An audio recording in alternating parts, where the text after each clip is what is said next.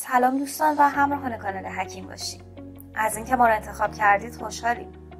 لطفا کانال را سابسکرایب کنید و ما را به دوستانتان معرفی کنید. در ادامه با ما باشید. درمان یوبوست در سه دقیقه. فقط با فشار یک نقطه. داروها و نسخه های مؤثر در درمان یوبوست روشی برای رفع این مشکل دردناک است.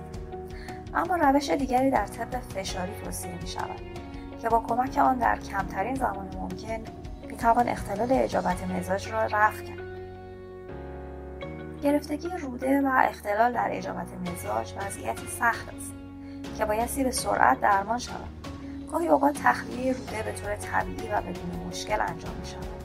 اما بعضی روزها به دلیل اشتباهات در تغذیه و سبک زندگی این روند دچار اختلال می شود. اختلالی که با درد و ناراحتی همراه است. یکی از درمان هایی که در این شرایط می توان به سرعت مشکل شما را حل کند استفاده از طب فشاری است. یا بهتر بگوییم فشار دادن قسمتی از بدنتان است. نقطه ای که باید برای درمان سریع یوبوست و مشکلات روده اینچنینی فشار دهید چند میلیمتر پایین تر از ناف قرار دارد که بایستی بر حسب عرض انگشت سبابه نقطه مورد نظر را پیدا کنید عرض انگشت سبابه خود را در عدد سه ضرب کنید. بر طبق اندازه استاندارد عرض این انگشت شما یک اینچ است. به زبان دیگر سه انگشت سبابه پایین تر از ناف درست نقطه ای که باید شما برای درمان فشار دهید. چطور این کار را انجام دهید؟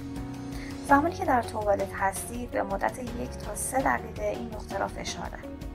مدت فشار بستگی به شدت مشکل در روده شما دارد. با فشار دادن این نقطه از بدن انرژی درمانی باعث شروع دفع مواد سمی از روده ها می شود درست تأثیری که ماساژ عضلات شکم خواهد داشت.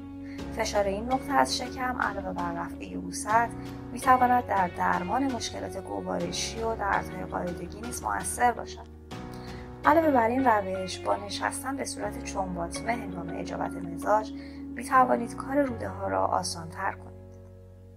امیدوارم این مطالب برای شما مفید باشه.